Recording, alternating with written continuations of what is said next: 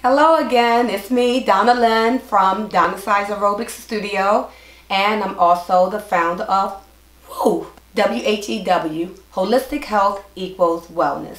Now, the last time we spoke, I gave you the definition of what stress is, and I basically told you how it affects us. There are ways to manage it. Get rid of it, that's not going to happen. But we can find ways to manage it and coexist with it. Today I'm going to tell you about the four common ways people define stress. There is stress as a stressor stimuli, stress as a response, stress as a transaction, and holistic health. Now I'm going to talk about all four eventually, but today let's focus on stress as a stressor stimuli. What is that? That is pressures associated with work, school, relationships, family life, and other environmental demands. Now, all of us have stress in those places, but when you feel pressured in those areas, that's when you become stressed. Now, what are other environmental demands? That's things that you couldn't foresee ahead of time. You're driving, you're close to work, but you're running a little late. Then all of a sudden, traffic halts.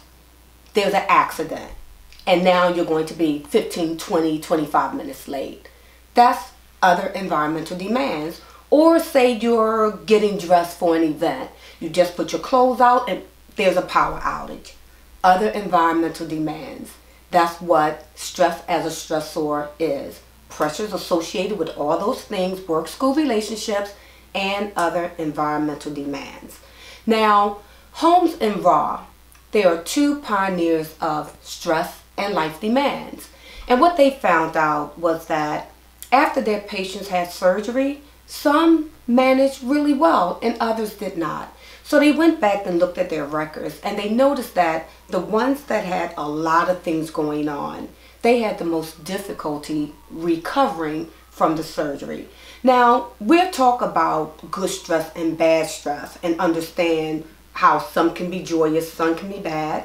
But Understand that stressful stimuli, pressures associated with work, and usually if you start a sentence with, oh gosh, my boss is so stressful, oh my gosh, all these bills, I'm so stressed.